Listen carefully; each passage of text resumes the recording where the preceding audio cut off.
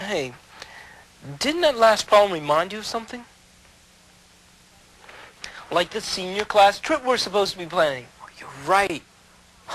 I almost forgot. We promised to find out how much food and transportation will cost. We better solve our own real-life problems before we finish the tape. I've got some information on the buses.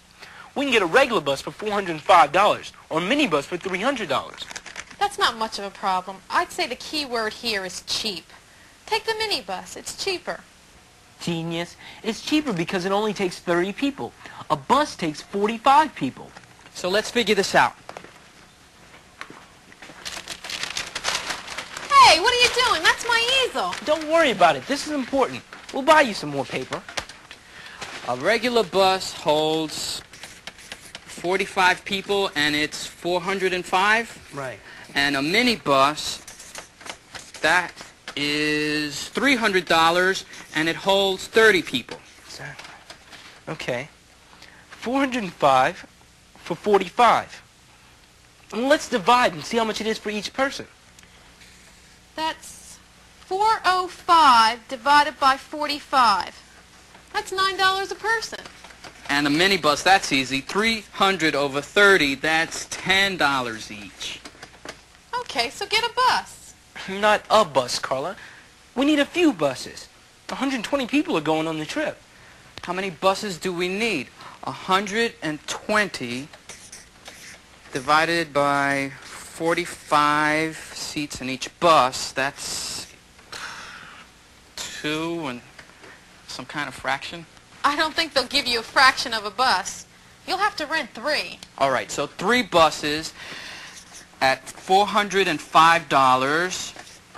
That's $1,215. Maybe we should try minibuses. Okay, so how many minibuses do we need? Uh, th 120 people over 30 seats. That's equal to four exactly. And we don't need to pay for any seats we don't have to use, right? So, and four times $300, that's $1,200 even. See, I was right the first time. Take minibuses. They're cheaper. Wait a minute. Who says we have to decide on one or the other? Maybe we could rent two buses and one minibus. Think that'll work? Try it. Okay. 45 45 people in each bus times two buses, that's 90.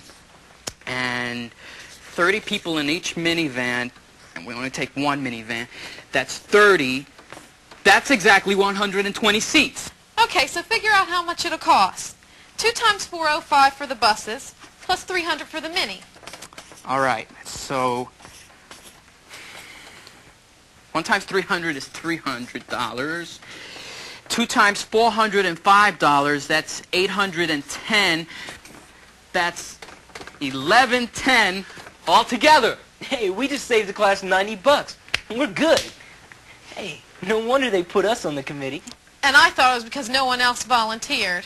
Enough of your real-life problems.